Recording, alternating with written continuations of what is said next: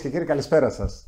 Καλώς ήρθατε στις ιατρικές συναντήσεις. Καλώς ήρθατε στην τελευταία εβδομάδα του Μαΐου. Μπαίνουμε σε πολύ λίγες μέρες το καλοκαίρι. Λοιπόν, ε, επειδή ήταν πάρα πολλά τα ερωτήματά σας που με ρωτάτε συνέχεια σε ό,τι αφορά για το κομμάτι ιδιαίτερα των αρθροπλαστικών. Ε, με ρωτάτε συνέχεια αν υπάρχει τέλεια αρθροπλαστική, ποιος είναι ο καλύτερος τρόπος, γιατί ακούτε πάρα πολλά αυτή την περίοδο. Και ομολογώ και με κάποιες εκπομπές που έκανα όλη αυτή την περίοδο του χειμώνα, φτάσαμε τώρα στο τέλη Μαΐου, και εγώ έχω προβληματιστεί, ομολογώ. Έτσι. Ε, διερωτούμε και εγώ πολλές φορές, υπάρχει τέλεια ανθρωπλαστική; Γιατί ακούμε πόσες τεχνικές, έτσι, ότι υπάρχουν. Λοιπόν, ε, επειδή με βάση τα τηλέφωνα που έγιναν αυτούς τους, ε, πόσο είμαστε τώρα, σχεδόν 9 μήνες, έτσι, ε, που κάνουμε εκπομπές κάθε εβδομάδα και παρακολουθείτε τις ιατρικές συναντήσεις και οφείλω να σας ευχαριστήσω για μία ακόμη φορά για όλη αυτή την αγάπη που δείχνετε στο πρόσωπό μου και ιδιαίτερα σε αυτή εδώ την εκπομπή.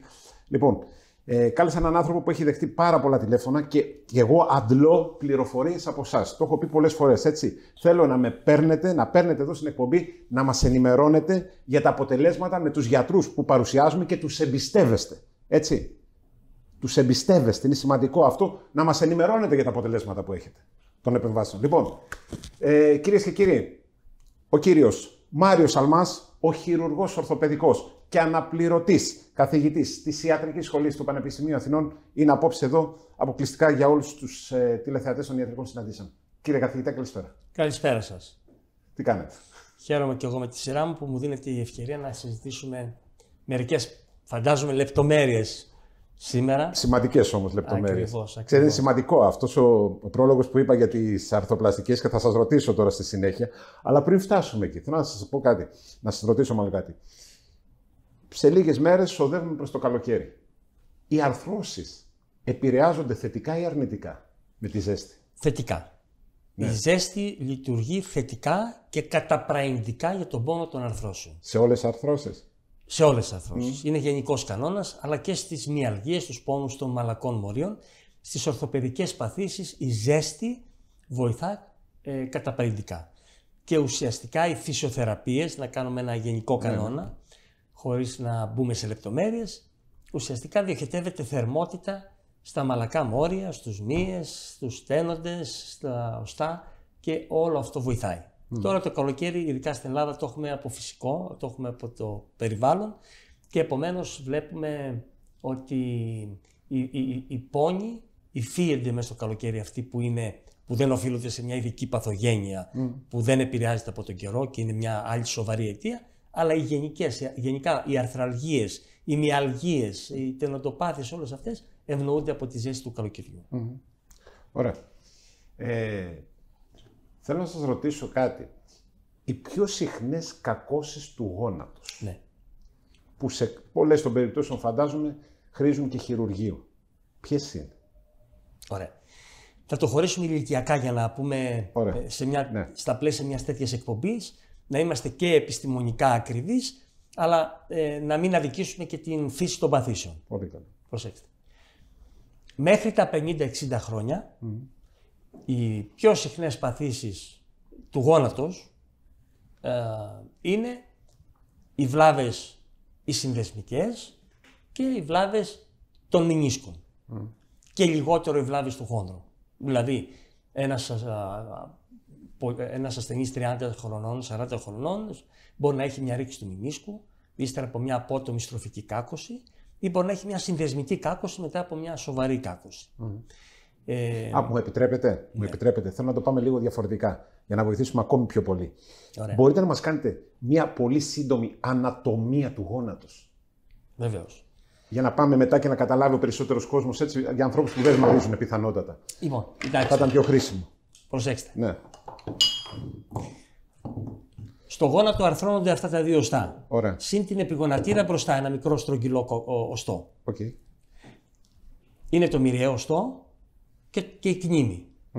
Βλέπουμε εδώ οι επιφάνειες που αρθρώνονται στο γόνατο του μυριαίου οστού είναι δύο. Δύο κόνδυλοι τους λέμε.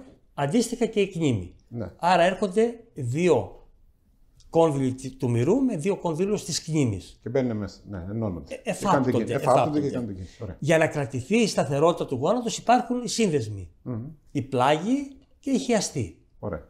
Και ανάμεσα για να καλυφθούν αυτά τα κενά στην ασυμμετρία των αρθρώσεων υπάρχουν δύο φλάντζες στις άκρες που λέγονται μηνίσκοι.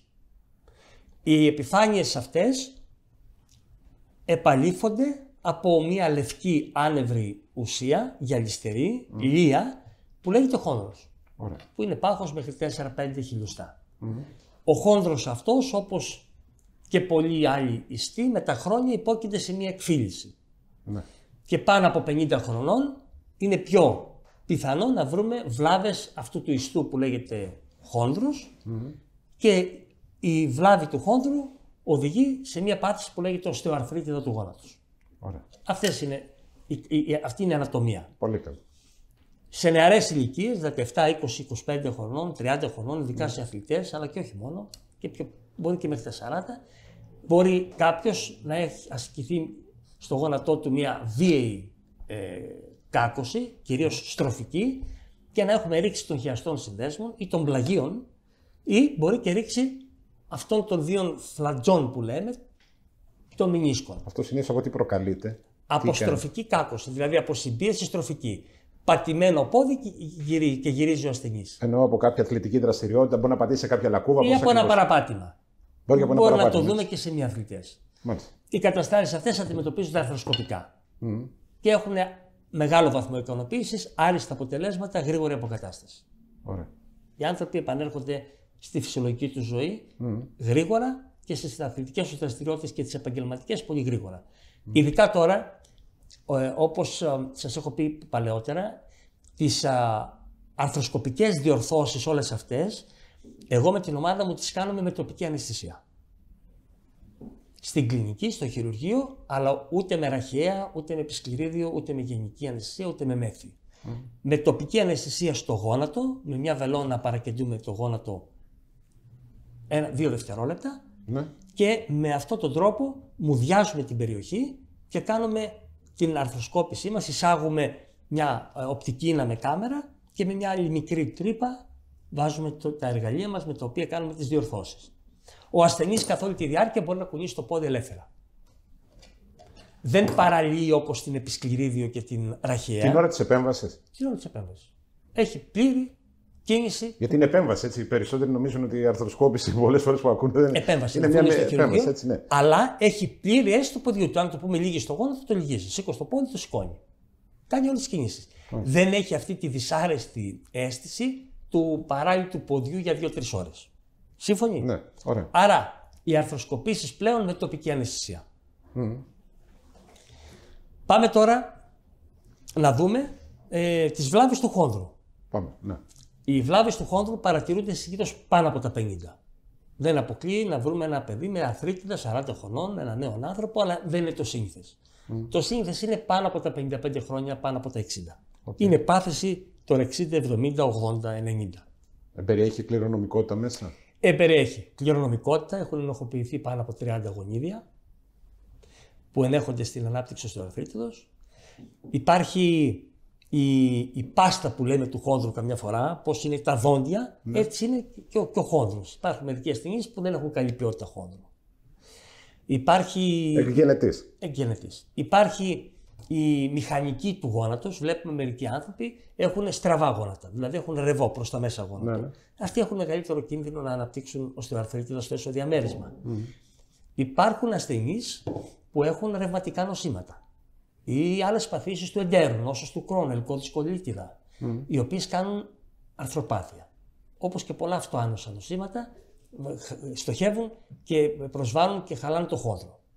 Αυτό, αυτοί οι ασθενείς έχουν μεγαλύτερη πιθανότητα να υποστούν ε, μια οστεοαρθρίτιδα. Υπάρχει κάποιος έλεγχος, δεν ξέρω, μπορεί να είναι και αδόκιμο αυτό, θα πω, γονιδιακός ενδεχομένως, που μπορεί να βρει έτσι, σε πολύ ε, νεαρή ηλικία ότι έρχεται το πρόβλημα; Υπάρχει η μελέτη, ο γονιδιακός έλεγχος και η συσχέτιση αυτών των γονιδίων. Δεν χρειάζεται όμως, γιατί τώρα η θεραπεία έχει απλοποιηθεί τόσο πολύ που δεν χρειάζεται να ανησυχούμε και να αγχωνόμαστε. Αν είναι να έρθει, ας έρθει, εδώ είμαστε εμείς να το φτιάξουμε. Μάλιστα. Λοιπόν, η οστεοαρθρίτιδα, που είναι η βλάβη του χόνδρου, που είπαμε είναι σε μεγαλύτερες ηλικίες, θυμίζω ότι είναι τέσσερα στάδια. Ανάλογα με την έκταση της βλάβης και το βάθος της βλάβης. Στο τελευταίο στάδιο αποκαλύπτεται το κόκαλο μέσα στην άρθρωση και από το υγρό που κυκλοφορεί ερεθίζονται τα νευρά, ε, οι νευρικές απολύξεις που υπάρχουν Ναι. και παράγεται ο πόνος. Έτσι παράγεται ο πόνος. Φαντάζομαι αφόρητος πόνος στο τελευταίο στάδιο, έτσι. Δεν είναι αναλογικός με τη βαρύτητα της παθήσεως. Βλέπουμε βαριές οστεοαρθρίτιδες που πονάνε λίγο και μικρές οστεοαρθρίτιδες που πονάνε πολύ. Ένα αυτό. Δεύτερον, ο πόνος είναι περιοδικός. Δηλαδή, τι σημαίνει περιοδικός; Έρχεται και φεύγει. Έρχεται και φεύγει. Πονάει τρεις μήνες, φεύγει ένα. Πονάει έξι μήνες, φεύγει, φεύγει για δύο. Μέχρι που έρχεται και καθίσταται μόνιμα. Στο τελευταίο στάδιο χειρουργούμε. Ολική αρθροπλαστική. Στα προηγούμενα στάδια έχουμε πολλές θεραπείες. Θεραπείες που πρέπει να έχουν εξατομίκευση. Δεν κάνουμε σε όλους τους ασθενείς τα πάντα. Έρχονται ασθενείς που είναι 60 χρονών και μου λένε: Μπορούμε να κάνουμε βλαστοκύτταρα, έχω αρθρίτιδα. Βεβαίως όχι. Δεν υπάρχει ένδειξη, δεν υπάρχει βιβλιογραφία, δεν υπάρχουν δημοσιευμένες μελέτες, δεν υπάρχει γνώση που να λέει ότι η θεραπεία με βλαστοκύτταρα σε αυτή την ηλικία βοηθάει την αρθρίτιδα. Επομένως, αυτό που πρέπει να κάνουμε είναι να εξατομικεύσουμε τη θεραπεία όταν είναι συντηρητική, να ξέρουμε ότι είναι συνήθως σε νεότερες ηλικίες και σε μικρότερα στάδια. Καθίστε λίγο αν έχετε την καλοσύνη, λίγο να τα δούμε λίγο αυτά τα στάδια. Έτσι, Ναι. να τα πούμε στον κόσμο. Βεβαίως. Εντάξει, έχει τύχει στο παρελθόν, τα έχουμε ξανακουβεντιάσει βέβαια, αλλά είναι Γρήγορας. χρήσιμο, είναι χρήσιμο έτσι, να κάνουμε μια υπενθύμηση Στο στον στάδιο 1, 2 και 3 Ναι. Ωραία. μπορεί κανείς να κάνει ενέργεια σε αλωρονικό. κόσμο. Ναι, Το PRP, οι αυξητικοί παράγοντε από το αίμα που παίρνουμε, το φυγοκεντρούμε, ωραία.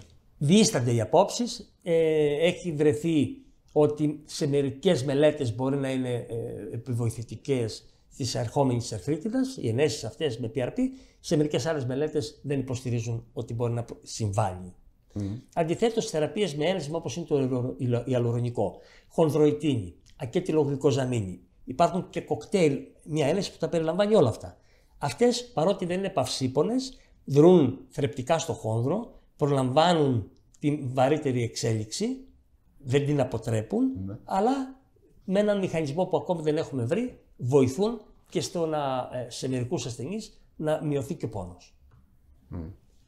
Λοιπόν, ε, όταν είναι εντοπισμένη η βλάβη του χόνδρου σε νεαρότερες ηλικίες, υπάρχουν μικρές επεμβάσεις που κάνουμε που μεταφέρουμε χόνδρο από τη μία μεριά στην άλλη ή κάνουμε χαλι- καλλιέργεια χονδροκυτάρων και τα βάζουμε ε, σε αυτή την επιφάνεια σαν σχάρα όταν είναι εντοπισμένη η οστεοαρθρίτιδα.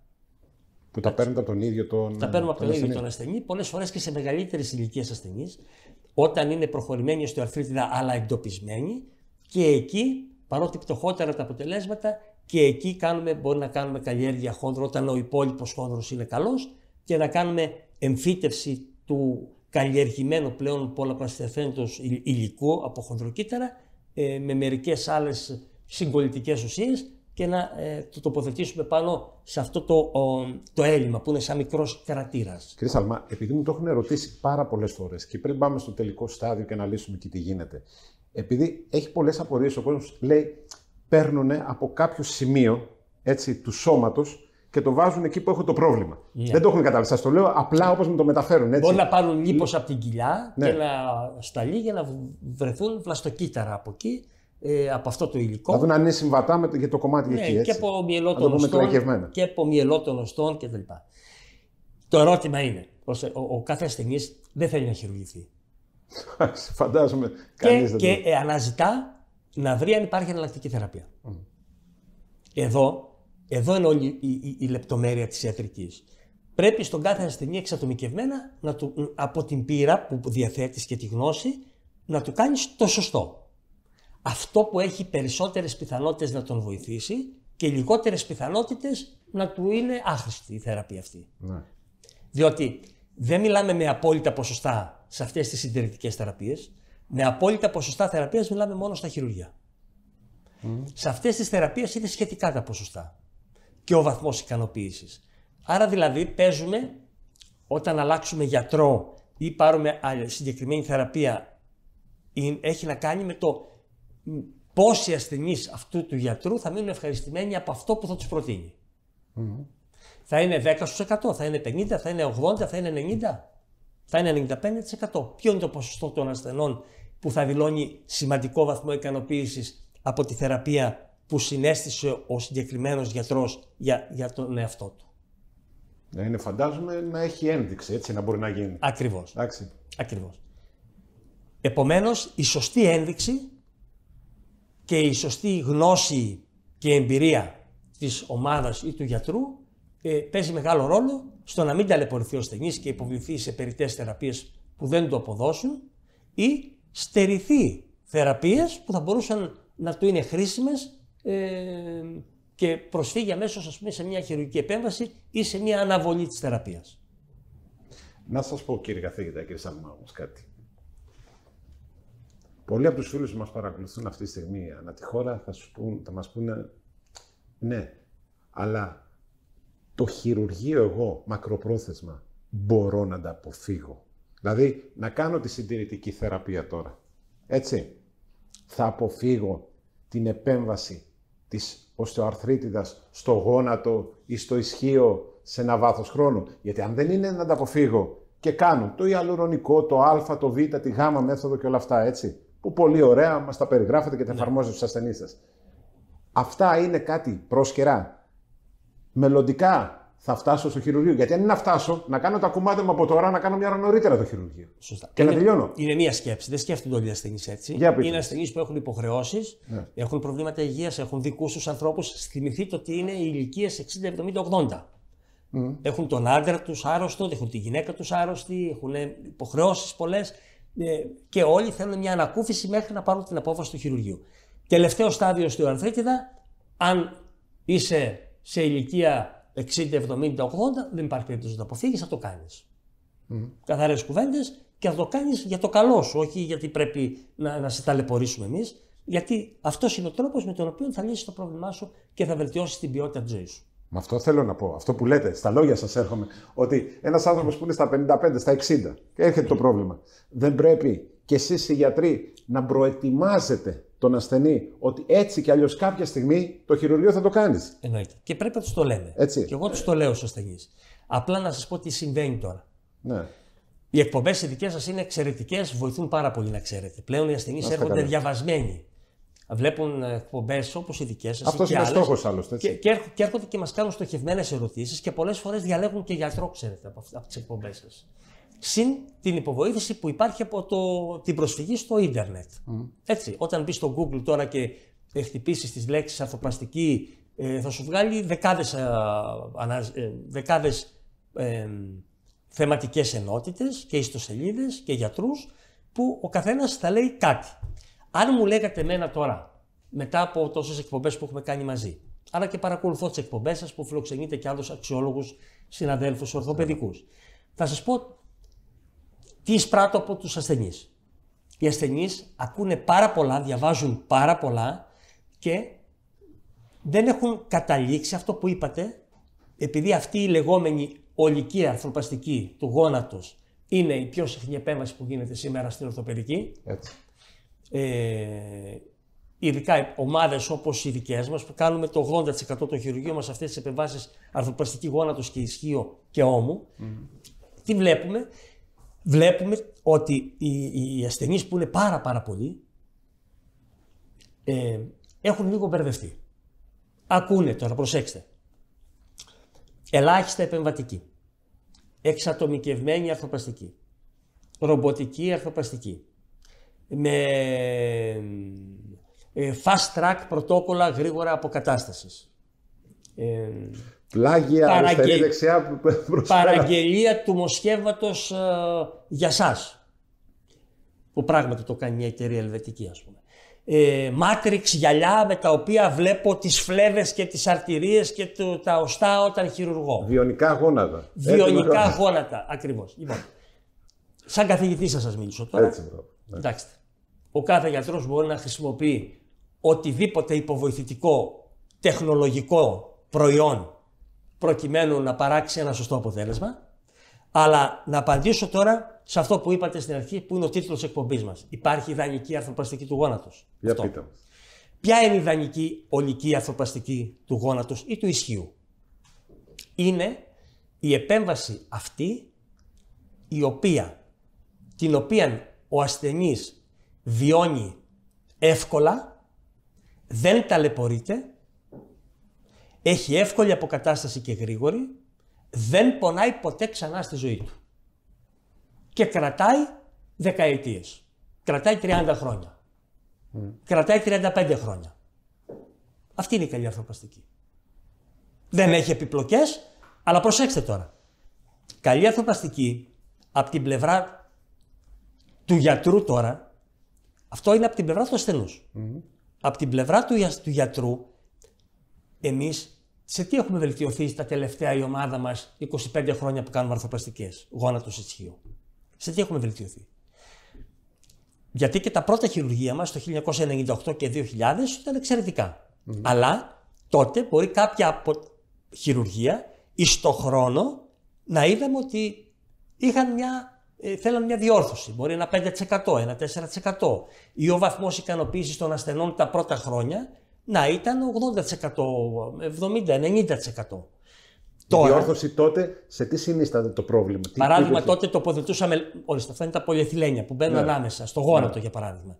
Τότε βγάζαν 8 χιλιοστά πολυεθυλένια οι εταιρείες. Mm. Αυτά είχαν αστοχία. Μπορεί να έσπαγαν μερικά. Ναι. Τώρα τα έχουν βελτιώσει οι εταιρείες. Mm. Ή στην τοποθέτηση, στην ακρίβεια. Τώρα, όπως θα σας πω, προσθέθηκε η ρομποτική τεχνολογία, η πείρα, η ομάδα, η γρήγορη αποκατάσταση, η... χω... χωρίς να κόβουμε τους στένοντες. Όλα αυτά παίζουν το ρόλο τους, όπως θα πούμε στη συνέχεια, για να έχουμε ένα βαθμό ικανοποίησης. Αλλά προσέξτε τώρα από την πλευρά του γιατρού. Αν μια χειρουργική ομάδα, όπως η δική μας, κάνει το χρόνο εκατοντάδες χειρουργία. Λέω ένα τυχαίο νούμερο να κάνει 700 χειρουργία το χρόνο, μια ομάδα. Ναι. Προσέξτε. Πόσα από αυτά θα είναι ικανοποιημένα; Θα είναι το 90 ή θα είναι το 98%. Διότι αν είναι το 90 ναι. Στα 700 σημαίνει ότι έχεις 70-10% 70 χειρουργημένους ασθενείς οι οποίοι δεν είναι ευχαριστημένοι. Σωστά. Είναι μεγάλο νούμερο. Σαφώς. Ένας που κάνει 20 χειρουργία το χρόνο δεν το καταλαβαίνει. Αν είναι δύο δυσαρεστημένοι. Ναι. Μια ομάδα όμως που κάνει 700 χειρουργία το χρόνο πρέπει να περιορίσει πάρα πάρα πολύ το βαθμό των ασθενών που δεν είναι ικανοποιημένοι. Εμείς αυτό έχουμε καταφέρει. Δηλαδή, στα 700 χειρουργία πρέπει να μην υπερβάλλω, να πω ότι και τα 700 πρέπει να είναι ένα στάνταρ τυποποιημένο αποτέλεσμα. Εξατομικευμένο μεν, αλλά το τελικό αποτέλεσμα να είναι καλό. Αυτή ήταν η διαφορά. Οι Έλληνες γιατροί είναι πολύ καλοί γιατροί. Το, η διαφορά της Ελλάδος σαν θεραπεία από την Αμερική, ας πούμε, ποια είναι; Ότι στην Αμερική είναι τυποποιημένο το σύστημα. Παράγει καλά αποτελέσματα ως επιτοπλίστων, γιατί τα κακά αποτελέσματα τα πληρώνεις πολύ ακριβά ε, σε αποζημιώσεις των γιατρών. Οπότε αναγκάστηκε το σύστημα εκεί να προσαρμοστεί να παράγουν οι καλές ομάδες πολύ καλά αποτελέσματα. Έτσι λοιπόν μπορώ να σας πω και να το έτσι, ε, προβάλλω αυτό, ότι πλέον έχουμε ένα πολύ σημαντικό βαθμό, δεν κάνει να πω 100% γιατί αυτό το έχει μόνο ο Θεός, αλλά εμείς έχουμε φτάσει σε ένα 98% να είναι άριστα τα αποτελέσματα και ο εξαιρετικός βαθμός ικανοποίησης των ασθενών μας. Αυτό είναι μεγάλη επιτυχία από την πλευρά μας. Άρα Ποια είναι η ολική αρθροπλαστική η τέλεια; Είναι αυτή που δεν θα έχεις φλεγμονές, είναι αυτή που θα βλέπεις την ακτινογραφία μετά και θα λέμε ότι είναι για βιβλίο, είναι αυτή η επέμβαση που θα βλέπουμε τον ασθενή μας την ίδια μέρα βεβαίως να περπατάει, αλλά τώρα πλέον δεν, είμαστε, δεν ε, αρκούμαστε στο να δούμε τον ασθενή. Αυτό ήταν της προηγούμενης δεκαετίας, δεκαπενταετίας, που λέγαμε περπατάτε την ίδια μέρα. Τώρα έχουμε εξελίξει. Όπως θα δείτε και στο βίντεο ε, που ακολουθεί, οι ασθενείς τώρα κάνουν λάκτισμα οι δικοί μας. Τους χειρουργούμε και σε τρεις ώρες μετά από το χειρουργείο ρίχνουν κλωτσιά. Mm. Κυριολεκτό. Δηλαδή, όταν χειρουργούμε για το γόνατο, ρίχνουν κλωτσιά. Έχει δύναμη το γόνατο να ρίξουν μια κλωτσιά. Να τους κάτι. Δεν είναι ότι στάθηκα να περπατήσω και για να πάω τρία βήματα ή δέκα βήματα. Mm. Ρίχνει κλωτσιά το γόνατο. Το γόνατο ανοίγει και κλείνει. Το γόνατο είναι μια άρθρωση. Λέμε πολλά βίντεο, βλέπουμε ε, ότι περπατάτε την ίδια μέρα. Ναι, δεν, δεν είναι να περπατήσουμε την ίδια μέρα. Το γόνατο πρέπει να κάνει έκταση και κάμψη. Πότε θα κάνει πλήρες εύρος έκτασης και κάμψης, Την πρώτη μέρα μετά το χειρουργείο, χωρίς να πονάει ο ασθενής από μόνος του, ή 30 μέρες μετά το χειρουργείο με 30 φυσιοθεραπείες που να σμπρώχνει ο φυσιοθεραπευτής και ο ασθενής να φωνάζει; Έλατε. Αν δούμε έναν ασθενή μετά από πέντε μήνες, στη λαϊκή, αν βρεθούν τρεις γυναίκες που έχουν χειρουργηθεί στη λαϊκή, εσύ πώς πήγες, πώς πήγες, πώς πήγες, μπορεί να είναι καλά. Mm. Πώς φτάσαμε εδώ, φτάσαμε εύκολα, φτάσαμε δύσκολα. Ή το ανάποδο μπορεί να μην είναι όλες καλά. Να είχαν γρήγορη αποκατάσταση, να βγήκαν την ίδια μέρα, επειδή διάβασαν σε μια ιστοσελίδα, φεύγεις την ίδια μέρα, πας σπίτι σου, αλλά μετά πήραν ένα μικρόβιο και δεν το πρόλαβαν. Και να έκανε low grade infection, ας πούμε, το γόνατο, και σε 3-5 μήνες, 7 να πηγαίνεις στη λαϊκή και να λέει πονάω εγώ. Ένα λεπτό, Άρα, λοιπόν... ένα λεπτό κύριε καθηγητά, γιατί είναι πολύ σοβαρά αυτά που λέτε. Πραγματικά σας παρακολουθώ προσεκτικά. Έτσι, θα σταθώ στο τελευταίο. Καταρχήν, πριν το τελευταίο. Η κυρία που είδα, που ήταν 86 χρονών, τώρα πριν πούμε να κάνουμε τη συνέντευξη, που έφευγε. Ναι. Έτσι. Ναι. Αυτή η γυναίκα, ε, πόσο καιρό έμεινε μέσα; Σας το λέω γιατί είναι κάτι που το είδα, έτσι, το είδα με τα μάτια μου. Η γυναίκα είχε έρθει εδώ να τη. Η γυναίκα αυτή έμεινε δύο βράδια. Δύο βράδια. Θα μπορούσε να μείνει και τρία, θα μπορούσε να μείνει και ένα εξαρτάται από ένα πρωτόκολλο παρακολούθησης ναι. εργαστηριακών εξετάσεων που έχουμε, ναι. ώστε να είμαστε σίγουροι όταν θα φύγει ότι δεν θα πονάει, γιατί οι ασθενείς πλέον δεν μπορεί να είναι στην κλινική τις δύο-τρει μέρες που μένουν. Ναι. Γιατί σκοπός δεν είναι να τη βγάλεις την ίδια μέρα και μετά να πάει σπίτι και να πονάει. Ναι. Εξάλλου, οι περισσότεροι ασθενείς που χειρουργούμε σήμερα είναι από όλη την Ελλάδα. Είμαστε ομάδα και κέντρο αναφοράς αρθροπλαστικών από όλη την Ελλάδα. Επομένως, θα φύγει για την Κρήτη, θα φύγει για την Κέρκυρα, τη Μυτιλίνη, τη Θεσσαλονίκη, τις Σέρες και πρέπει ο ασθενής αυτός πλέον να φύγει χωρίς να πονάει, με, έχοντας τη δυνατότητα να αυτοεξυπηρετείται, να ανεβαίνει, να κατεβαίνει σκάλες, να πάει περπατώντας στο σπίτι του, να κάνει τις δουλειές και εμείς πλέον να έχουμε την παρακολούθηση μόνο διαδικτυακά με τα κινητά μας πλέον που η τεχνολογία έχει εξελιχθεί.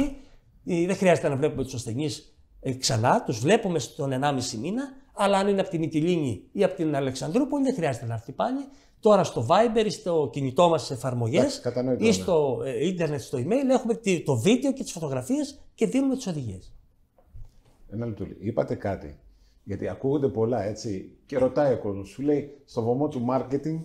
Ναι. Ε, ε, μάλιστα ήταν, είχε πάρει χαρακτηριστικά ε, ο γιος κάποιας κυρίας και λέει. Μα να σας πω, λέει κύριε Γκαγιογιάκη, τα έχετε δείξει κι εσείς, λέει αυτά τα πράγματα στις εκπομπές σας. Λέει στο τώρα τελευταία λέει, δεν τα πολύ βλέπω. Δείχνουν, λέει, έρχεται την πρώτη μέρα, σηκώνεται και φεύγει. Ανεβαίνει σκαλοπάτια, κατεβαίνει σκαλοπάτια. Μόνο βουνά δεν τους έχουν βάλει λέει, να ανεβούν. Και όλα αυτά. Είναι πραγματικά αυτά. Την ίδια μέρα ένας άνθρωπος εγχειρισμένος, έτσι, στο γόνατο ή στο ισχύο, μπορεί να πάει, να σηκωθεί και να πάει με ασφάλεια στο σπίτι του. Είναι απορία του κόσμου. Δηλαδή, είπατε εσείς χαρακτηριστικά και το κράτησα, μπορεί να κολλήσει ένα μικρόβιο. Πρέπει να το ξέρεις. Ε; Θεραπεύεται με φάρμακα. Θεραπεύεται. Αλλά πρέπει να το ξέρεις. Αν δεν το ξέρεις, μετά δεν θεραπεύεται με φάρμακα. Πρέπει να κάνεις αντικατάσταση. Και είναι ταλαιπωρία. Ναι. Πρέπει να το ξέρεις. Για να το ξέρεις, πρέπει να τον έχεις τον ασθενή μια-δύο μέρες στην κλινική. Ωραία. Οπότε αυτό που, λέτε, αυτό που λέτε, γιατί τη ίδια απόψεω είμαι και εγώ. Ναι. Δηλαδή, ένας άνθρωπος δεν μπορεί να κάνει χειρουργείο τη μία μέρα και σκότε να φεύγει, ας πούμε. Ακούγεται ωραίο. Ακούγεται ωραίο. Ναι, στο βωμό του μάρκετ ακούγεται καταπληκτικό. Και στη λαϊκή θα βρούμε Έτσι. μια γυναίκα που έφυγε την ίδια μέρα. Αλλά προσέξτε τώρα, ξαναείπα πριν. Όταν κάνεις πολλά χειρουργία, πρέπει τα αποτελέσματά σου να είναι όλα καλά. Πλέον. Δεν είναι να πεις ότι ένα μας ξέφυγε. Έτσι διαμορφώνεις το πρωτόκολλο. Το να φύγεις την ίδια μέρα βοηθάει την κλινική να μην χρώνει νοσηλείας, εμάς για να μην ξαναπηγαίνουμε να βλέπουμε τον ασθενή και τον ασθενή. Όλοι εξυπηρετούμαστε για την ίδια μέρα. Ναι. Ξαναλέμε όμως ότι έχει μειονεκτήματα παρακολούθησης και αναλγησίας και φροντίδας. Έχουμε καταλήξει λοιπόν ότι το καλύτερο είναι ο ασθενής να μείνει δύο βράδια στην κλινικη Δεν βιαζόμαστε, το κάνουμε μια επέμβαση για μια ζωή και τον κρατάμε όχι γιατί θα κάνουμε κάτι εμείς, για να έχουμε follow-up, παρακολούθηση στο πρωτόκολλο και να έχουμε και τις πρώτες φυσιοθεραπείες, τις δυο-τρεις που θα κάνει μέσα στην κλινική, με αναλγησία σωστή, Ωραία. με τα φάρμακά του, ώστε ο ασθενής να μην τελειώσει. Κατανοητό. Θα μου επιτρέψετε, κύριε καθηγητά, κυρίες και κύριοι, να πάμε σε μια μικρή διακοπή. Μείνετε εδώ κοντά μας. Θα ρωτήσω τον κύριο καθηγητή. Ωραία. Εδώ η ομάδα του είναι πάρα πολλά χρόνια, με χιλιάδες αρθροπλαστικές έτσι στην πλάτη σας. Εντάξει. Από όσο κατάλαβα, διορθώστε να κάνω λάθος, είστε στα αποτελέσματα σχεδόν στο απόλυτο. Είμαστε πάρα πολύ καλά τα έχουμε δημοσιεύσει κιόλας, είναι από τα καλύτερα που υπάρχουν. Δημοσιευμένα, γιατί σε αυτή τη χώρα, ξέρετε, δεν δημοσιεύονται τα αποτελέσματα. Ο Έλληνας ο Έλληνας ασθενής Ε, πραγματικά, είναι απορία μου, δεν πρέπει να ενημερώνεται. Στο εξωτερικό υπάρχουν οι γιατροί, δημοσιεύονται τα αποτελέσματά τους στα χειρουργεία. Είναι νομοθεσία τέτοια. Ε; Είναι νομοθεσία τέτοια στην Αμερική. Εδώ η νομοθεσία. Α αλλάξουν τα δεδομένα και εδώ. Να έχουμε μια database να ενημερώνεται ο κόσμος. Σωστά, σωστά. Έτσι δεν σωστά, είναι. Σωστά. Το ίντερνετ και οι εκπομπές δικέ σας έχουν βοηθήσει πάρα πολύ. Να σας πω γιατί τώρα. Διότι υπάρχουν οι αξιολογήσεις. Ε, αν μπει κανείς στο Google, βλέπει ο καθένας μπορεί να εκφραστεί για το πώς πήγε το χειρουργείο του. Ε, Επομένως, έχει μια εικόνα. Ωραία. Δεν πας στα τυφλά. Λοιπόν, ναι. επανερχόμενοι, θέλω να μας πείτε κάτι. Γιατί μπορεί να είναι κάποιοι, κάποιοι άνθρωποι να μην έχουν επιλέξει το Μάριο το Σαλμά, έτσι που μας βλέπουν αυτή τη στιγμή, και να σκέφτονται να πάνε να κάνουν, να πάνε κάπου να κάνουν μια αρθροπλαστική. Τι πρέπει να λάβουν υπόψη τους. Έρχομαι εγώ σε έναν χειρουργό ορθοπαιδικό να κάνω αρθροπλαστική. Σωστά. Επειδή θα ακούσω πολλά και μας τα περιγράψετε πολύ γλαφυρά. Το 1, το 2, το 10. Για να μην τρελαθεί το μυαλό του ανθρώπου, θέλω να μας πείτε, επιστρέφοντας εδώ στις ιατρικές συναντήσεις, στο δεύτερο μέρος, έτσι, πώς πρέπει τι πρέπει να κάνει. Τι πρέπει να λάβει υπόψη του. Κάποιος που είναι έτοιμος να πάει και να κάνει μια αρθροπλαστική. Είναι πολύ σημαντική ερώτηση και με αυτή να ξεκινήσουμε το δεύτερο μέρος. το δεύτερο μέρος. Λοιπόν, πολύ μικρή διακοπή και επανερχόμαστε. Εδώ, ο Μάριος Σαλμάς, ο αναπληρωτής καθηγητής της Ιατρικής Σχολής του Πανεπιστημίου Αθηνών και πάλι εδώ στις Ιατρικές Συναντήσεις.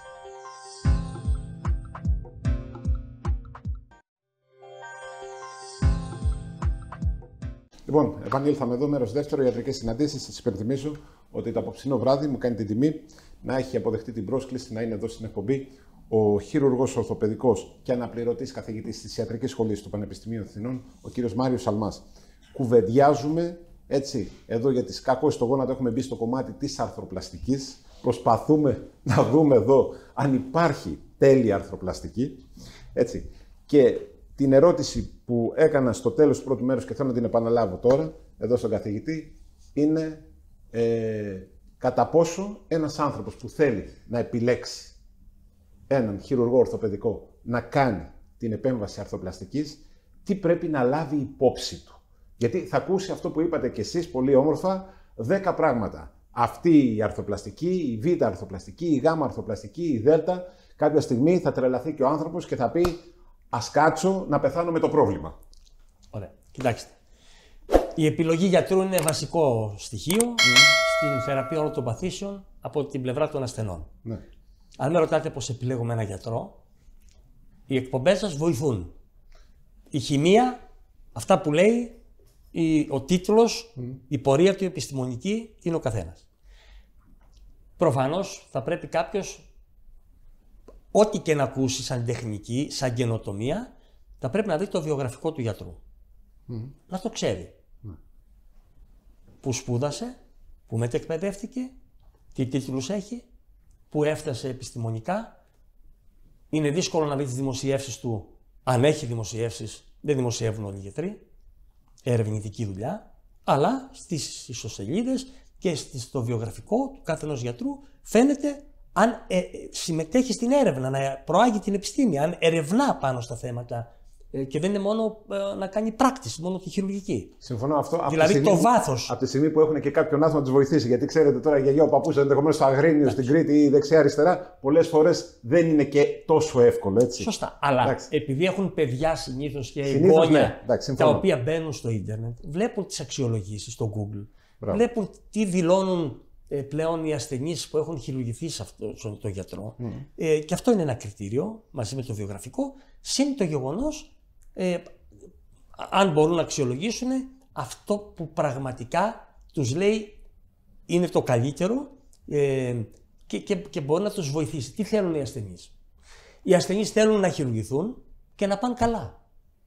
Να μην έχουν επιπλοκές και το χειρουργείο τους να είναι επιτυχημένο να μην πονάνε μετά. Επειδή ο πόνος είναι που τους φέρνει εδώ και η δισκαμψία, θέλουν μετά για όλη τους τη ζωή να έχουν ένα γόνατο που δεν θα πονάει ή ένα ισχύο και θα περπατάει μια χαρα Και θα ανοίγει και θα κλείνει, θα κάνει όλες τις κινήσεις. Αυτό δεν θέλει. Χωρίς να έχει ταλαιπωρηθεί. Ναι. Τίποτα. Απλά πράγματα θέλουν ασθενεί. Το αν εσύ θα το κάνεις τώρα με βιονικό, όπως λες, ή ναι. με ρομποτικό, ή με πρόσθετη προσπέλαση, ή ανέμακτα ή χωρίς να κόβεις τους στένοντες, αυτό είναι μια ε, λεπτομέρεια του γιατρού που την προβάλλει για να συστηθεί ο γιατρός. Ο γιατρός, οι περισσότεροι γιατροί δεν είναι γνωστοί. Ναι. Δεν είναι όλοι με τίτλους. Σαφώς. Εντάξει. Ναι. Ε... Εγώ πώς θα το ξέρω όμως; Τι θα ξέρω ότι η τεχνική που θα χρησιμοποιήσει ο άλλος είναι καλή; Εντάξει, μπορεί να έχω ψάξει. Έτσι. Αλλά ξέρετε και πάλι.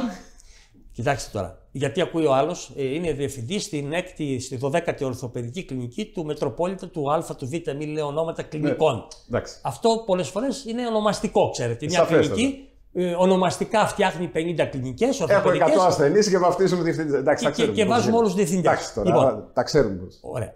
Εδώ λοιπόν θέλει απλά πράγματα ο ασθενής. Ναι. Να, να, να, να έχει ένα καλό αποτέλεσμα. Μπράβο. Να σας το πω πολύ απλά στην αρθροπλαστική Μπράβο. του γόνατος, για παράδειγμα, πώς είναι το απλό. Για πείτε μας. Προσέξτε. Ξεκινάμε από την τομή. Είναι ασθενεί που τους ενδιαφέρει η τομή. Ναι. Είναι μεγάλη τομή, μικρή τομή. Δηλαδή, μεγάλη τομή σημαίνει θα κόψω πολύ ναι. για να μπω μέσα στο γόνατο από το δέρμα. Ναι. Τώρα, αν πάει κανείς σε μερικά κρατικά νοσοκομεία, μπορεί να μην τους ενδιαφέρει το μέγεθος της τομής, είναι ο παλιός συμβατικός τρόπος. Τώρα πλέον, όλος ο ιδιωτικός τομέας και μερικά νοσοκομεία κάνουμε μικρές τομές. Είναι κανόνας οι μικρές τομές. Γιατί; Γιατί δεν έχουμε λόγο να κάνουμε μεγάλες. Να ρωτήσω κάτι. Η μικρή τομή Ναι. Έχει το πλεονέκτημα, γιατί αναφέρατε πριν ότι μπορεί να πάρει κάποιο μικρόβιο. Η μεγάλη τομή μπορεί να πάρει πιο εύκολα μικρόβιο. Ναι, αλλά είναι δεν... σχετικό αυτό. Ναι, είναι... ναι, αλλά δεν είναι αυτός ο λόγος. Πάμε παρακάτω. Δεν μας χρειάζονται οι μεγάλες τομές. Ωραία. Κάνουμε άνετα το χειρουργείο από μικρές τομές. Πολύ καλά. Είναι απλό. Εντάξει. Δεν χρειάζεται τώρα κα- να κάνουμε μεγάλες τομές. Ναι. Κόψαμε το δέρμα. Ωραία. Πώς θα σηκώσουμε από κάτω τον τένοντα του τετρακεφάλου, για παράδειγμα, και το θύλακο για να φτάσουμε στα οστά, Για πείτε μας. για να τα επεξεργαστούμε. Ναι. Μπράβο. Εδώ έχουμε μια καινοτομία που την κάνουμε εμείς. Μπορεί να την κάνουν και άλλοι γιατροί. Ναι. Αλλά αυτό παίζει ρόλο. Δεν κόβουμε τον τένοντα του τετρακεφάλου. Δεν κόβουμε τένοντα. Τον ανασηκώνουμε και κάνουμε το χειρουργείο. Τεχνικά μπορεί να είναι πιο δύσκολο, αλλά αν ο γιατρός είναι εξοικειωμένος με αυτό, είναι μεγάλο πλεονέκτημα γιατί είναι άλλο να κόψεις τον τένοντα και να τον ράψεις, πάλι περπατάς το απόγευμα, αλλά είναι κομμένος και ραμμένος ο τένοντα. Έχει χάσει την ιδιοδεκτικότητα, τι ίνες που του δίνουν τη δύναμη. Αν δεν τον κόψεις, ρίχνεις κλωτσιά. Με κομμένο δεν μπορείς να ρίξεις κλωτσιά. Μπορείς να περπατήσεις, να ανέβει σκάλες. Δεν μπορείς να ρίξεις κλωτσιά. Θα μου πεις τι σημασία έχει αυτό. Όταν κάνουμε διπλά γόνατα. Και, τα Όταν δύο, ο άλλο- βεβαίως. και τα δύο γόνα την ίδια μέρα. Εμεί είμαστε μονά, ομάδα εξειδικευμένη στα διπλά γόνατα. Έρχονται δηλαδή για να βρουν αυτό σε εμάς. Κάνουμε και τα δύο γόνατα μαζί. Οπότε κάποιος που θα έρθει Όταν στην είσαι επαρχία... 85, ατροφικά, ατροφικοί ημίε, θέλεις να κάνεις τα δύο γόνατα και να σκοτείς να περπατήσεις αμέσως, να, να ανεβείς και σκάλες, Ναι. είναι άλλο ένα γόνατο και ανεβαίνω ένα πόδι, ένα πόδι στις σκάλες και και με κατεβαίνω τα το δύο. ανάποδα, και άλλο να ανεβώ χειρουργημένα δύο γόνατα, να αλλάξω τα βήματά μου και να κατέβω. Άρα το βίντεο που βλέπουμε έναν ασθενή που ανεβαίνει κατεβαίνει, πώς ανεβαίνει; Ένα-ένα ή και τα δυο γόνατα τα χειρουργημένα; Αυτό λοιπόν επιτυγχάνεται όταν δεν κόβεις τους θένοντες. Εμείς το κάνουμε αυτό. Τελειώσαμε. Πάμε παρακάτω. Πρέπει τώρα να κόψουμε το φθαρμένο τμήμα της επιφάνειας Ναι. για να τοποθετήσουμε τα εμφυτεύματα. Μπράβο. Πώς θα τα κόψουμε τώρα; Εδώ είναι όλη η κουβέντα. Για πείτε μας. Η τελευταία λέξη της μόδας που έχει εδώ και μια 15 ετία βρεθεί, δεν το ανακαλύψαμε τώρα, είναι η ρομποτική τεχνολογία. Δηλαδή, όλο αυτό γίνεται επεξεργασία την προηγούμενη μέρα με μια αξονική τομογραφία, ανασυντίθεται και το μελετάμε. Πριν το χειρουργείο την προηγούμενη μέρα. Κάνει μια αξονική ο ασθενής και εμείς μελετάμε την ανατομία των οστών και πόσα χιλιοστά πρέπει να κόψουμε, ποια μοίρα έσω, έξω, μπροστά, πίσω, πώς πρέπει να κάνουμε το κόψιμο. Αυτή είναι η τελευταία λέξη της επιστήμης. Συν το γεγονός ότι την επόμενη μέρα η τελευταία πάλι λέξη είναι το ενεργητικό ρομπότ. Δηλαδή, βάζουμε την, τα δεδομένα που έχουμε εμείς επεξεργαστεί την προηγούμενη μέρα και το κόψιμο το κάνει το ρομπότ. Τελειώσαμε, 10 λεπτά. Δεν Απλώς υπάρχει το ρομπότ το κάνει με ακρίβεια, έτσι. με ακρίβεια. Τώρα, το βλέπω με γυαλιά μάτριξη για να βλέπω τις αρτηρίες. Είναι δικαίωμα του κάθε γιατρού να θέλει να το βρει αυτό τον τρόπο που θα κόψει με όποιο τρόπο θέλει. Αφού έχει βρεθεί το ρομπότ που την κάνει.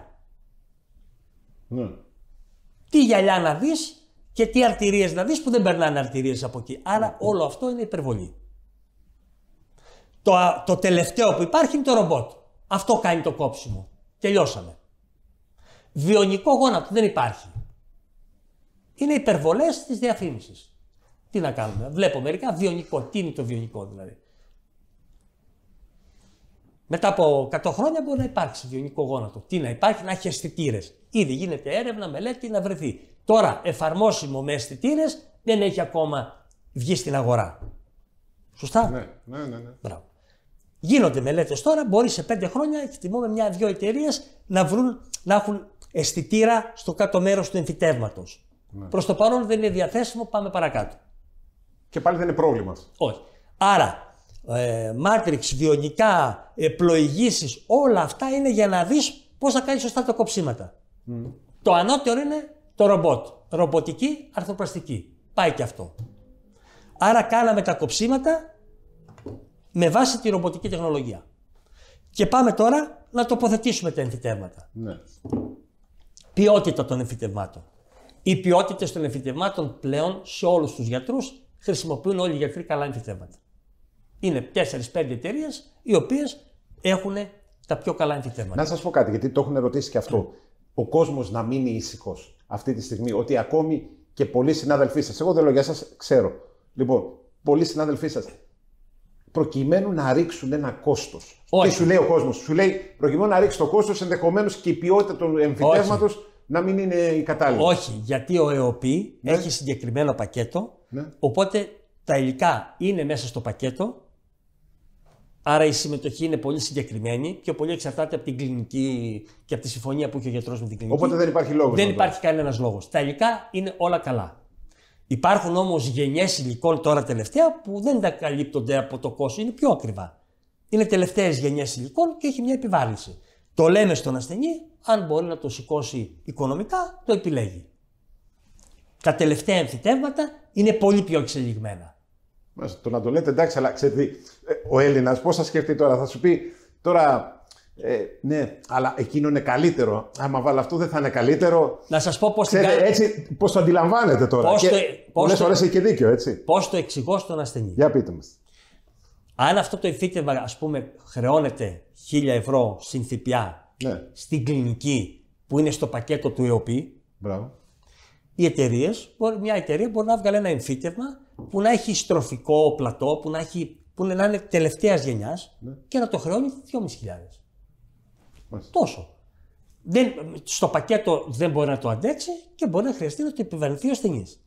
Η κουβέντα μας με τον ασθενή. Αυτό σημαίνει ότι θα αντέξει και παραπάνω χρόνια. Δεν το ξέρουμε. Αυτά είναι καινούργια τώρα. Είναι, δύο, είναι δύο χρόνια εμφυτεύματα. Μάλιστα. Προφανώς είναι καλύτερα και θα αντέξει και περισσότερα χρόνια. Ναι.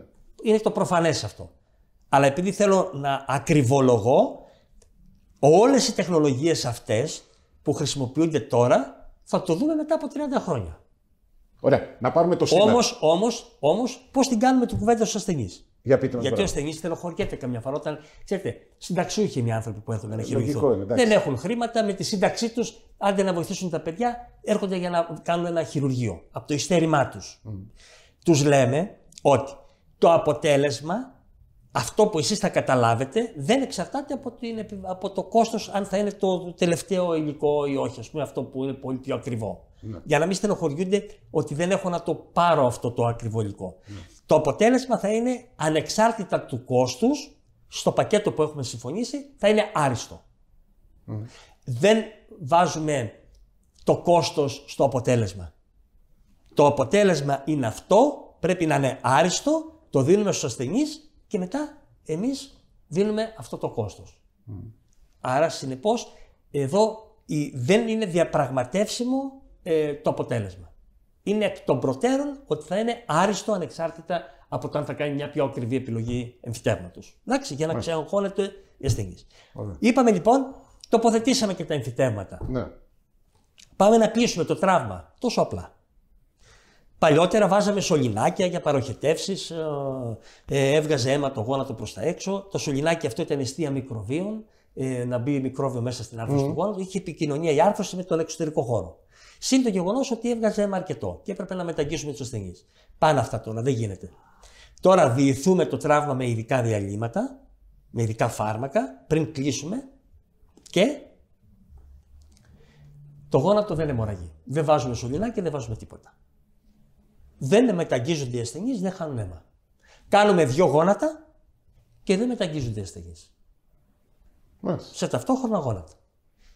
Πόσο διαρκούν αυτές οι επεμβάσεις, Δηλαδή, πες ότι έρθει κάποιος να κάνει και τα δύο γόνατα. Ναι. Έρχεται από την επαρχία. Α, καταρχήν πριν έρθει εδώ πέρα. Τι γίνεται, μπορεί να επικοινωνήσει με τον Μάριο Σαλμά να στείλει μια αξονική, τι ακριβώς; Θα σας το πω τώρα εγώ, αλλά πρέπει να πω και ένα τελευταίο. Για πείτε και αυτό και να μου πείτε.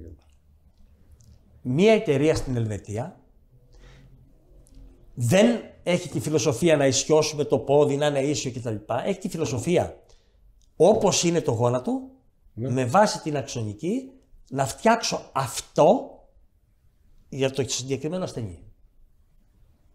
Με την αξονική που Μόνο μια εταιρεία το κάνει αυτό. Να φτιάξει το εμφύτευμα με 3D printing, με εκτύπωση τρισδιάστηση. Ωραία. Αυτό έχει ένα μειονέκτημα ναι. Ότι είναι καινούριο, δηλαδή είναι 2-3 ετών, δεν το έχουμε σταντάρει μακροπρόθεσμα αποτελέσματα, γι' αυτό και δεν το χρησιμοποιούμε.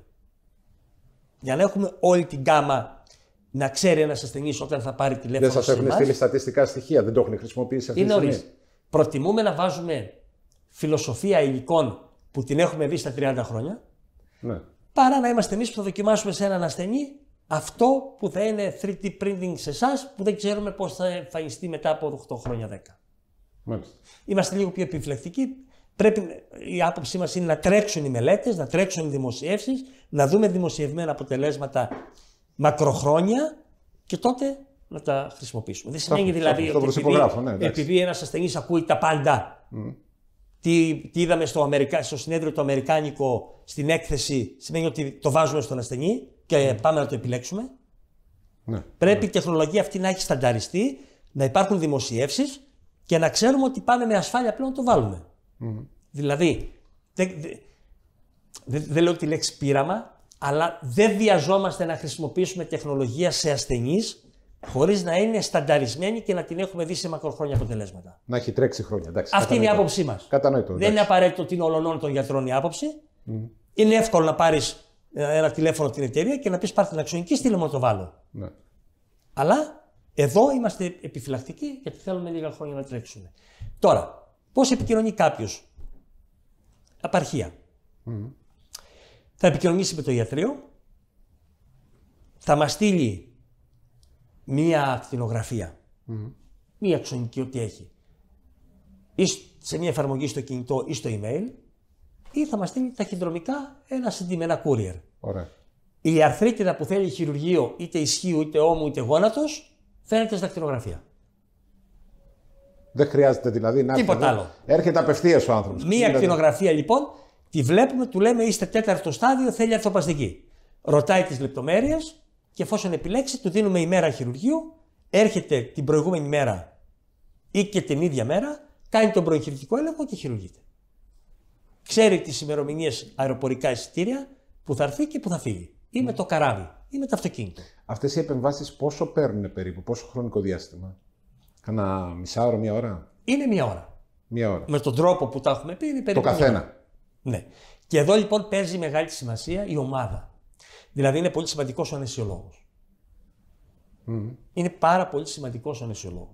Είναι πάρα πολύ σημαντικοί οι νοσηλευτές που είναι εργαλειοδότες, οι, μεταφο... οι τραυματιοφορεί, ε, είναι οι, οι νοσηλευτές στο θάλαμο. Ο αναισθησιολόγος, γιατί το αναφέρατε; Είναι πολύ σημαντικό. Διότι αν δείτε πώς κάνει ανησυχία ο δικός μας αναισθησιολόγος, ναι. θα εκπλαγείτε. Το λέω αυτό, ξέρετε τι γίνεται. Πολλοί, επειδή έχω κάνει ένα άτυπο γκάλωπ και στην εκπομπή, πολλοί φοβούνται στα χειρουργία την αναισθησία και όχι το ίδιο το χειρουργείο. Πολύ ωραία. Εγώ λοιπόν εδώ έχω το, ε, τη χαρά να σας πω, ο αναισθησιολόγος μας στην ομάδα επικεφαλής της αναισθησιολογικής ομάδας είναι ο, ε, ο Μάρκος Παχουνδάκη ο οποίος είναι, θεωρώ, ένας από τους καλύτερους ανεσιολόγου της Αθήνας. Έχει κάνει mm. δεκάδες δεκάδες πραγματικά χιλιάδες αναισθησίε και για να κάνει μια επισκληρίδιο, μια περιοχική, μια ραχιαία, ε, δεν είναι περισσότερο από ένα λεπτό. Κυριολεκτό. Ένα λεπτό. Κυριολεκτό. Οι ασθενείς τελειώνουν το χειρουργείο, τους λέει τελειώσαμε και λένε τι το κάναμε; λοιπόν, αυτό έχει μεγάλη σημασία. Μάλιστα. Έτσι. Ε, και, και αυτό έχει την εξέλιξή του και την σημασία της ομάδα. Δεν είναι δηλαδή ένας ασθενής, ας πούμε, σκυμμένο να το τσιμπάει και να καταλαβαίνει 20 ε, λεπτά να ταλαιπωρείται για να κάνουμε μια επισκληρίδια, μια ραχία, ναι, ναι. μια τοπική. Ναι. Όλα αυτά είναι ε, ένα λεπτό πλέον. Κύριο λεπτό. Να σας ρωτήσω κάτι. Ε, Άλλο ερώτημα του κόσμου που έχει κάνει. Η οστεοαρθρίτιδα στο γόνατο και στο ισχύο Ναι. μπορεί να έρθει πιο εύκολα αν μπονάει κάποιος στη μέση ή έχει, περισσό... έχει παραπανίσια κιλά στην περιφέρεια. Κοιτάξτε. Το υπερβολικό βάρος καταπονεί τι αρθρώσει. Μηχανικά είναι μια αιτία η οποία μπορεί να οδηγήσει πιο πρόωρα σε μια οστεοαρθρίτιδα. Ναι, Και στα να εκδηλωθούν τα συμπτώματα. ναι. Δεν μας πειράζει, χειρουργούμε μέχρι και 100, έχουμε χειρουργήσει μέχρι και 180 κιλά. Καθίστε κύριε καθηγητά όμως, γιατί να σας πω κάτι. Χειρουργείτε, λέτε, μέχρι και 180 κιλά. Ναι. Μια χαρά. Αυτός ο άνθρωπος που θα χειρουργηθεί Ναι. και θα πάει πολύ καλά από την ομάδα σας. Ναι. Εγώ προσωπικά είμαι βέβαιος ότι θα πάει καλά. Ναι. Εντάξει. Αυτή η αρθροπλαστική πόσο θα αντέξει. Που όταν ένας άνθρωπος μπορεί να είναι Κανονικότατα, υπέρβαρο, να κανονικότατα. είναι υπέρβαρος και να προχωράει, δεν θα την πιέσω. Κανονικότατα. Βάζουμε προθέσεις Ναι. με, με ειδικές, με πιο μεγάλα stem, Ναι. με πιο μεγάλες επιφάνειες, που η φόρτιση είναι πιο κεντρική. Βάζουμε τα ειδικά υλικά σε αυτόν τον ασθενή και πρέπει να γίνει πολύ σωστά το χειρουργείο για να μοιράζονται σωστά τα φορτία, να, ναι. να βγει σωστό το αποτέλεσμα. Γιατί αν βγει σε αυτό Και το αν ασθενή- αυτός ο άνθρωπος πάει σε ένα μήνα και χάσει 30 κιλά, αυτό η, η πρόθεση που θα έχει μπει κατά Ακόμα τέτοιο τρόπο με καλύτερα. βάση τα δεδομένα τα δικά του; θα χαρεί η πρόθεση. Ναι, Θα παίρνει λιγότερα κιλά για τα επόμενα χρόνια. μάλιστα. Ωραία. Αλλά σε αυτόν τον ασθενή πρέπει το πόδι να το βγάλεις στο χιλιοστό. Ναι. Αν το βγάλεις με τρεις μοίρες παραπανήσεις από τη μέσα πλευρά, το πιο πιθανό είναι ότι θα σου κάνει χαλάρωση πιο γρήγορα από τη μέσα πλευρά. Μάλιστα. Άρα λοιπόν το σωστό χειρουργείο δεν, δεν έχει να σε φοβήσει τι, με- Ωραία. σε τίποτα. Ισχύει, έχουμε σχεδόν τα ίδια δεδομένα, έτσι, γιατί δεν έχουμε χρόνο τώρα. Ναι, προσπέλαση, άλμης, άμυ, Ναι. ε, τι- άση, τι είναι αυτά. Ναι, είναι γίνεται ένα πανηγύρι. τα αρχικά Ναι. του πώς θα μπούμε μέσα στο ισχύο. Μάλιστα. Της προσπέλασης. Εντάξει. Η επέμβαση είναι ίδια. Ναι. Οπότε Όπου κύριε, και εδώ κύριε χρησιμο- ξεχάστε τις ονομασίες αυτά τώρα. Τα... Είναι, έχει να κάνει με το από πού θα μπεις. Από πού θα μπεις. Αν θα κόψεις τους στένοντες ή δεν τους κόβεις, Εντάξει. εμείς δεν τους κόβουμε. Και αν θα χρησιμοποιήσεις τη ρομποτική τεχνολογία και εδώ, για να μπορέσει να έχεις ένα άριστο αποτέλεσμα, να βγουν τα πόδια ισοσκελισμένα, μην βγει το ένα πιο μακρύ, το άλλο πιο κοντό και να μπορεί να είναι. Κατανοητό. Να μην έχεις Ελάτε εδώ τώρα και εξαρτήματα. πριν σας ευχηθώ τώρα καλό καλοκαίρι. Ε, λοιπόν, πείτε μου κάτι. Στους μαθητές σας, Ναι. αυτά που μας είπατε, τα μυστικά τα αποκαλύπτετε. Ναι, βεβαίως. Και είναι, να σας πω κάτι. Η χαρά του δασκάλου είναι, ε, δεν είναι να κρατήσει μυστικά, είναι να εξελίξει την επιστήμη. Εμείς ως καθηγητές έχουμε ένα πλεονέκτημα. Μπορούμε να κάνουμε έρευνα στο Πανεπιστήμιο Ναι. της Αθήνας, που είναι ε, εξαιρετικό πανεπιστήμιο και η ιατρική σχολή είναι εξαιρετική. Κάνουμε έρευνα, απαντάμε σε ερωτήματα, ζυγίζουμε τεχνικές, βλέπουμε αποτελέσματα, δημοσιεύουμε τα αποτελέσματα και σε όλο αυτό πλέον οι, οι ειδικευόμενοι και οι φοιτητές είναι παρακολουθούν και έρχονται και στα χειρουργεία, το βλέπουν και συμμετέχουν. Γιατί σκοπός δεν είναι κάποιος άλλος να παράγει τη γνώση και εσύ να τη χρησιμοποιείς. Εμείς οι καθηγητές έχουμε μια ευθύνη να εξελίξουμε την επιστήμη, να συμβάλλουμε στην εξέλιξη της έρευνας. Μια άλλη φορά, να με θυμίσετε, να κουβεντιάσουμε για, τα, μι- μι- για τις μικρές ε, εξελίξεις που έχουμε συμβάλει και εμείς με την έρευνά μας ε, ώστε να προωθηθεί η, μεγάλη μου εξ- χαρά. η αρθροπλαστική του γόνατος και του ισχύου και του ώμου και οι άλλες παθήσεις. Επομένως, είναι ε, αυτονόητο ότι οι, οι, μαθ- οι φοιτητές μας και οι, οι ειδικευόμενοι συμμετέχουν σε όλη αυτή την Είναι σημαντικό κύριε εκπαιδευτική καθηγητά, δραστηριότητα. να υπάρχει ταχύτητα στη γνώση. Έτσι, για να μην φτάνει ο άλλος να φτάσει στο σημείο που μας είπατε και έχετε δίκιο και το υιοθετώ έτσι, ότι η εμπειρία παίζει σημαντικό ρόλο. Έχω 30, έχω 40, έχω 50 χρόνια ε, στην πλάτη μου. Να μπορεί να υπάρχει μια ταχύτητα στην εξέλιξη, να τη μεταλαμπαδεύσετε Ακριβώς. γρήγορα, ώστε και αυτοί οι άνθρωποι πολύ γρήγορα τις γνώσεις αυτές να τις εφαρμόσουν σε εμάς και να νιώθουμε κι εμείς καλύτερα οι Έλληνες ασθενείς και όχι μόνο γιατί έρχονται και πολλοί άνθρωποι από το εξωτερικό που επαναλαμβάνεται, έτσι. Εμπιστεύονται άνθρωποι από το εξωτερικό τους Έλληνες γιατρούς. Λοιπόν, αυτά λοιπόν πρέπει να τα καλλιεργήσουμε, να τρέξουμε. Εντάξει. Είπατε και λοιπόν, κλείνουμε με αυτό. Λοιπόν, γιατί δεν έχουμε και άλλο Πράγματι, χρόνο. πράγματι έρχονται ασθενείς από τη Γερμανία Το ξέρω, γι' αυτό σας το και λέω. την Αγγλία και ξέρετε γιατί έρχονται; Επειδή δεν βρίσκουν σειρά στο σύστημα έξω. Μπορεί να πάρουν σε τρία χρόνια σειρά να χειρουργηθούν στην Αγγλία και το ίδιο και στη Γερμανία. Έχουν φρακάρει τα συστήματα εκεί, οπότε έρχονται εδώ και κάνουν τις επεμβάσεις. Λοιπόν, ε, σας ευχαριστώ ιδιαίτερα για την κουβέντα που είχαμε. Κι εγώ. Και να σας ευχηθώ καλό καλοκαίρι. Και μιας σε εσάς μπαίνουμε και σε λίγες στου μέρες. τηλεθεατές μας Έτσι. και στους ασθενείς Καλό καλοκαίρι. Λοιπόν, και πάντα τέτοιε ό,τι αφορά τα αποτελέσματα. Λοιπόν, κυρίες και κύριοι, αυτός ήταν ο Μάριος ε, Σαλμάς, ο χειρουργός ορθοπαιδικός, ο αναπληρωτής καθηγητής της Ιατρικής Σχολής του Πανεπιστημίου Αθηνών. Να ευχαριστήσω πολύ και όλους εσάς που για μία ακόμη εβδομάδα εμπιστευτήκατε τις ιατρικές συναντήσεις για, για την ιατρική σας ενημέρωση. Ανανεώνουμε το ραντεβού μας για την επόμενη εβδομάδα, μέσα στον Ιούνιο πλέον, ε, με μια νέα ιατρική συνάντηση.